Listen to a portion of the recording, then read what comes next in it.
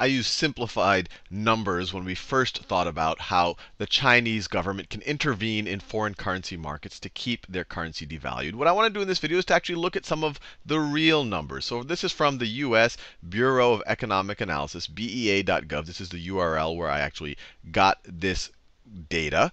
And this right over here is the US balance of payments relative to China. And this part right over here is the current account which is really tells us the imports versus exports. And this over here is the capital account, sometimes called the financial account, depending on depending on how you are accounting for it. And this tells us about the inflow or the outflow of ownership of assets. So this is goods, this is assets. You could think of it as money or securities or other things like that.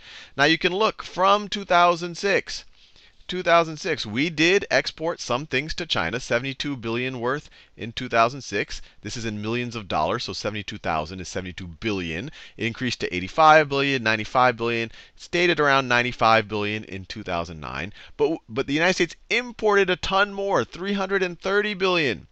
330 billion in 2006, 380 billion in 2007, almost 400 billion in 2009. So we're running almost a 300 billion almost a 300 billion trade deficit in 2008 relative to China. And then in 2009, it goes down a little bit. This looks like about a 260 billion trade deficit, and that's really just because we imported, we imported, or the United States imported fewer goods, and to a large degree that was probably because of the U.S.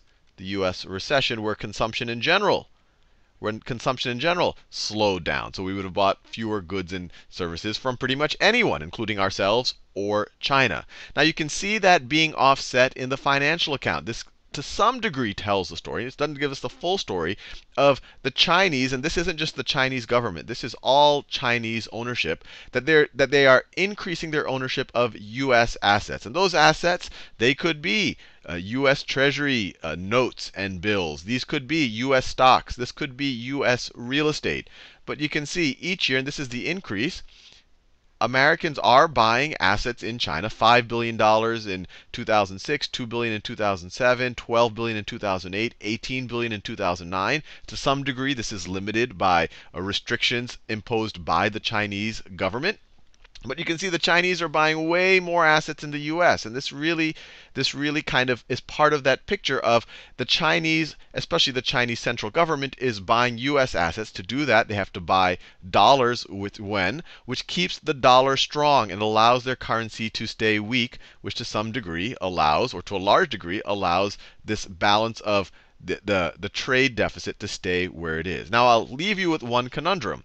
To a large degree, this is these numbers right here, they are offsetting the trade deficit, and especially in 2008. The Chinese bought way more US assets than actually even the trade deficit. They more than made up for it.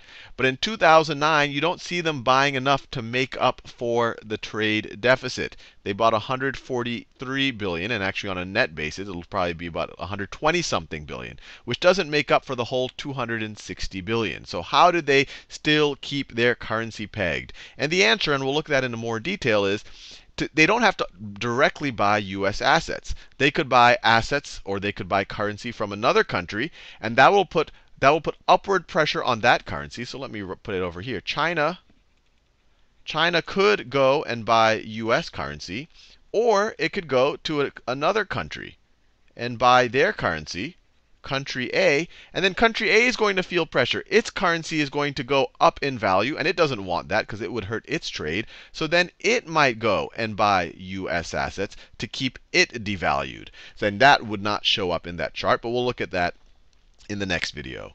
This is Salman Khan of the Khan Academy for CNBC.